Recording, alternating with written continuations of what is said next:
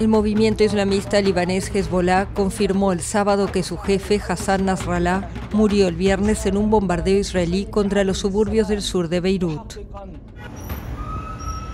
Tras el anuncio de su muerte se escucharon gritos y llantos en las calles del barrio comercial de Hamra, en Beirut.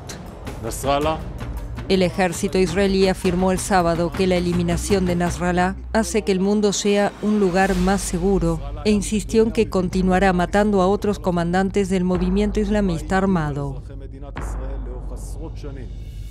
Hassan Nasrallah, de 64 años, era un hombre muy poderoso y venerado en Líbano. Líder de Hezbollah desde 1994, vivía en la clandestinidad desde hace años y aparecía pocas veces en público. En Gaza, el movimiento islamista palestino jamás denunció el asesinato como un acto terrorista cobarde de Israel, mientras que Irán aseguró por su parte que la senda de Hassan Nasrallah continuará pese a su muerte.